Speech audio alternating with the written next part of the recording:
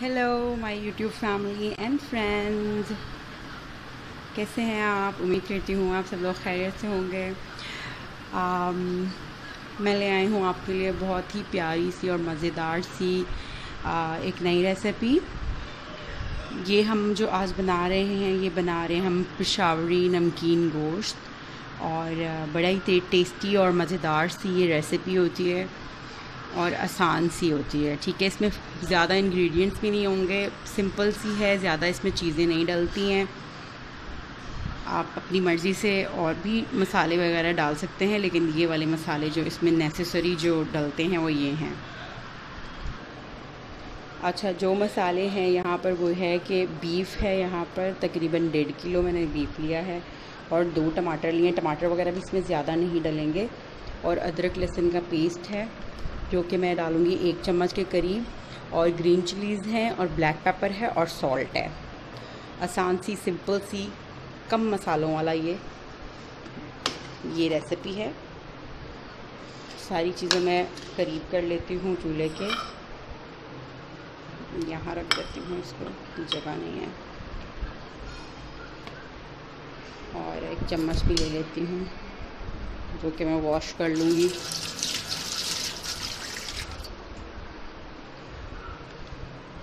चलिए। अब मैं गैस ऑन कर लेती हूँ। और सबसे पहले मैंने देचकी में ऑयल डाल लिया है और उसके बाद मैं बीफ डाल लूँगी और बीफ को थोड़ा सा भून लूँगी लहसुन अदरक के साथ।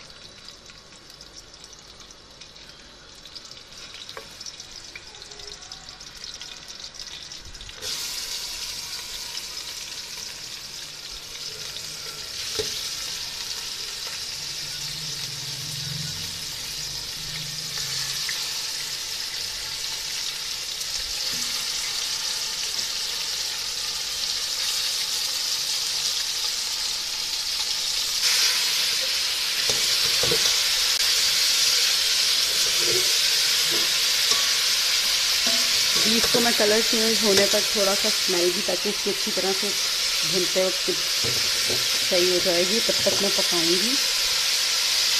लहसुन, अदरक की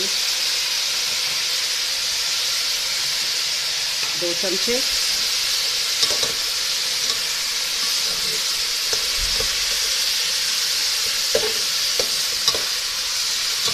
आप चाहें तो आप इस पर जब ये रेडी हो जाए, थोड़ा सा बटर भी डाल सकते हैं। मैं नहीं डालूँगी।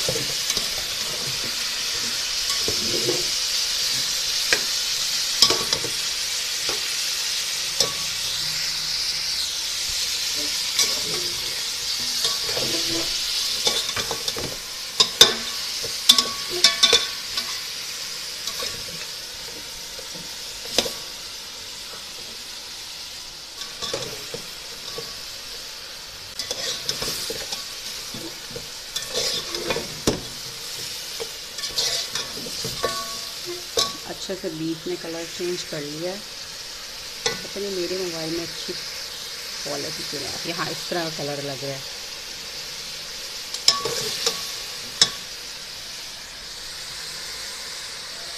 अब मैं इसमें जो है ये मसाले डाल रही हूँ।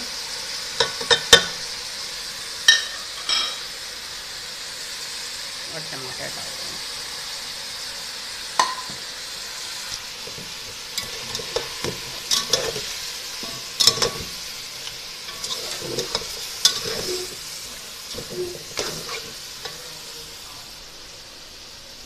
अच्छा। अच्छा मैंने इसमें काली मिर्च कम डाली है क्योंकि मैंने हरी मिर्च साथ में डाली है तो फिर बहुत स्ट्रॉन्ग ना हो जाए तो इसलिए मैंने काली मिर्च कम डाली है, लेकिन जब मैं इसको भूनूँगी तो थोड़ी सी काली मिर्च और ऊपर से डालूँगी। और इसमें टमाटर मैंने कम डाले हैं क्योंकि बिल्कुल सिंपल मतलब आप समझ लें नमकीन गोश्त बिल्कुल सिंपल ये लाइक कम इंग्रेडिएंट्स वाला, जिसमें बहुत मसाले वगैरह और बहुत प्याज और टमाटर और ये सब चीज़ें नहीं डलेंगी। तो सिर्फ़ टमाटर इसमें मैंने दो डाले, डेढ़ किलो गोश्त है, डेढ़ किलो से शायद ज़्यादा होगा।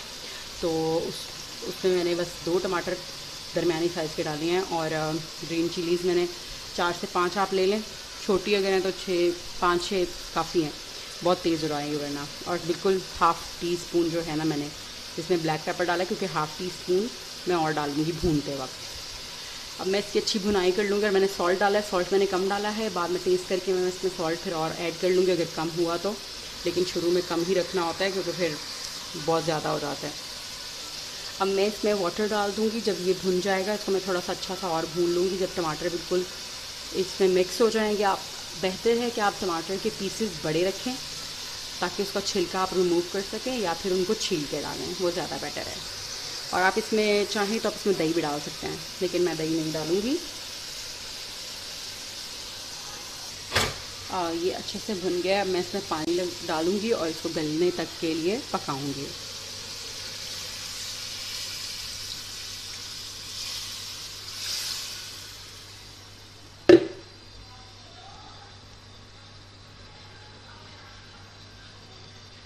उसमें सही नहीं आता। ये देखें ऐसा इसका कलर है। बिल्कुल अब सही नज़र आ रहा है इस तरह का।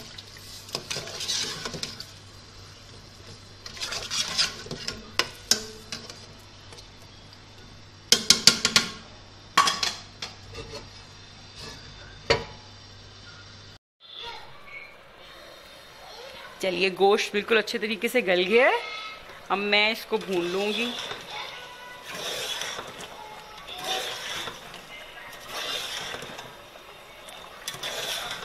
वैसे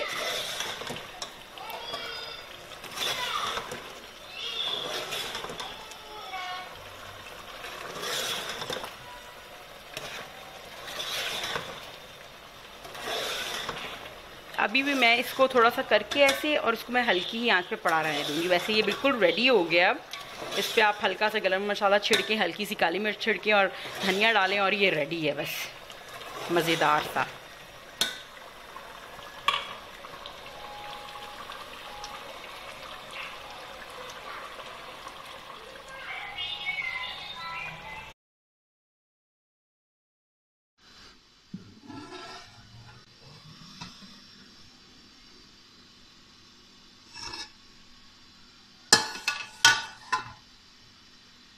ये देखें, ये हमारा नमकीन गोश्त पेशावरी नमकीन गोश्त, जिसको आप रोश भी कह सकते हैं, तैयार है बिल्कुल। अब मैं इसको गार्निश कर लूँगी। थोड़ा सा गरम मसाला।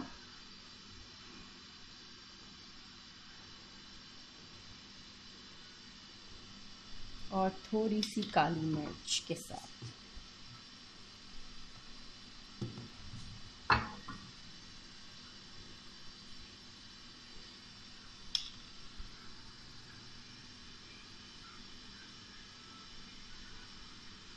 ये देखिए। बहुत ही खूबसूरत सी शक्ल इसकी।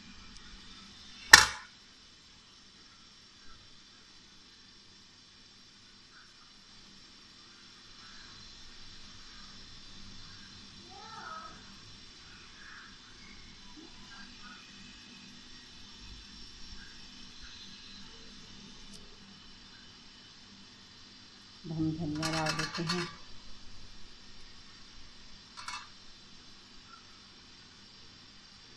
ये हमारा नमकीन गोश्त तैयार है।